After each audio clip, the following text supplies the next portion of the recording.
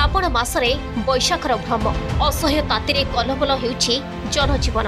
ଆସନ୍ତା ପାଞ୍ଚରୁ ଘୂର୍ଣ୍ଣିବଳୟ ପ୍ରଭାବରେ ବର୍ଷା ହେବା ସମ୍ଭାବନା ଦୁର୍ବଳ ହୋଇଛି ମୌସୁମୀ ରାଜ୍ୟରେ ରାଜ କରୁଛି ତାତି ଆଗାମୀ ତିନି ଦିନ ଯାଏ ଏଭଳି ସ୍ଥିତି ଲାଗି ରହିବ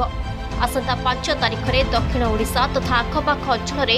ଘୂର୍ଣ୍ଣିବଳୟ ସୃଷ୍ଟି ହେବାର ସମ୍ଭାବନା ରହିଛି ଫଳରେ ପାଞ୍ଚ ଛଅ ତାରିଖ ପରଠୁ ରାଜ୍ୟର ନଅଟି ଜିଲ୍ଲାରେ ପ୍ରବଳ ବର୍ଷା ହେବ ଏନେଇ ସମ୍ପୃକ୍ତ ଜିଲ୍ଲାଗୁଡ଼ିକୁ ଆଞ୍ଚଳିକ ପାଣିପାଗ ବିଜ୍ଞାନ କେନ୍ଦ୍ର ପକ୍ଷରୁ ୟେଲୋ ୱାର୍ଣ୍ଣିଂ ଜାରି କରାଯାଇଛି ତାର ପୂର୍ବ ଅବସ୍ଥାକୁ ସ୍ୱାଭାବିକ ଅବସ୍ଥାକୁ ଫେରୁଛି ତା ପ୍ରଭାବରେ ଧୀରେ ଧୀରେ ଯେଉଁ ତାପମାତ୍ରା ରହୁଥିଲା ସେଥିରେ ମଧ୍ୟ ପରିବର୍ତ୍ତନ ହେବ ଏବଂ ଆମର ଯେଉଁଟାକି ଡେ ଫୋର୍ ଏବଂ ଡେ ଫାଇଭ୍ ଯେଉଁଟାକି ପାଞ୍ଚ ତାରିଖ ଏବଂ ଛଅ ତାରିଖରେ ବର୍ଷାର ପରିମାଣ ମଧ୍ୟ ବୃଦ୍ଧି ହେବାର ସମ୍ଭାବନା ରହୁଛି ପାଞ୍ଚ ତାରିଖରେ ଦକ୍ଷିଣ ଓଡ଼ିଶାର କିଛି ଜିଲ୍ଲାରେ ପ୍ରବଳ ବର୍ଷା ସମ୍ଭାବନା ରହିଛି ତା ଛଡ଼ା ଓଡ଼ିଶାର ଅନେକ ସ୍ଥାନରେ ହାଲୁକାରୁ ମଧ୍ୟମ ଧରଣର ବର୍ଷା ମଧ୍ୟ ସମ୍ଭାବନା ରହୁଛି ଛଅ ତାରିଖରେ ଏଇ ଯେଉଁ ବର୍ଷାର ଯେଉଁ ବିସ୍ତୃତି ବୃଦ୍ଧି ହେବ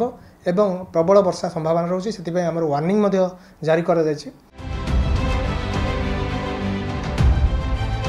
ପାଣିପାଗ କାର୍ଯ୍ୟାଳୟର ରିପୋର୍ଟ ଅନୁଯାୟୀ ଜୁନ୍ ଏକରୁ ଆଜି ପର୍ଯ୍ୟନ୍ତ ରାଜ୍ୟରେ ମୋଟ ପାଞ୍ଚଶହ ବାର ଦଶମିକ ଦୁଇ ମିଲିମିଟର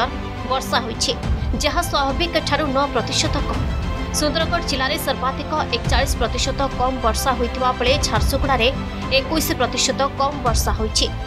ସାତଟି ଜିଲ୍ଲାରେ ନିୟନ୍ତ୍ରିତ ବର୍ଷା ରେକର୍ଡ କରାଯାଇଥିବା ବେଳେ ଦୁଇଟି ଜିଲ୍ଲାରେ ସ୍ୱାଭାବିକ ଠାରୁ ଅଧିକ ଏବଂ ଏକୋଇଶଟି ଜିଲ୍ଲାରେ ସ୍ୱାଭାବିକ ବର୍ଷା ହୋଇଥିବା ଜଣାପଡ଼ିଛି अगस्ट मसने भल वर्षा होने पापाग विज्ञान केन्द्र पक्ष आकलन कर टोटल बारिश हुआ है 512.2 मिलीमीटर स्टेट में और 560.6 स्वाभाविक होता है तो स्वाभाविक रेंज में ही है बट 9 परसेंट कम है डिस्ट्रिक्ट वाइज दो डिस्ट्रिक्ट बोध एंड कंदामाल में एक्सेस बारिश हुआ है 20 परसेंट एंड मोर एक्सेस हुआ है स्वाभाविक से और दो सुंदरगढ़ डिस्ट्रिक्ट में डेफिशिएंसी है 40 परसेंट संबलपुर में भी 29 परसेंट और marginally deficiency Bhadrak 25 four percent Mayurbhanj Bolangir 20 percent करके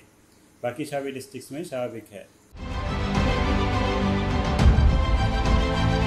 ଆହୁରି ତିନି ଦିନ ଯାଏଁ ରାଜ୍ୟବାସୀଙ୍କୁ କଲବଲ କରିବ ଅସହ୍ୟ पांच रु वर्षा होगा ଥିବାବେଳେ ମିଳିବ ଆଶ୍ୱସ୍ତି Bhubaneswar camera person Prasad Chinmay Sahu report Argus news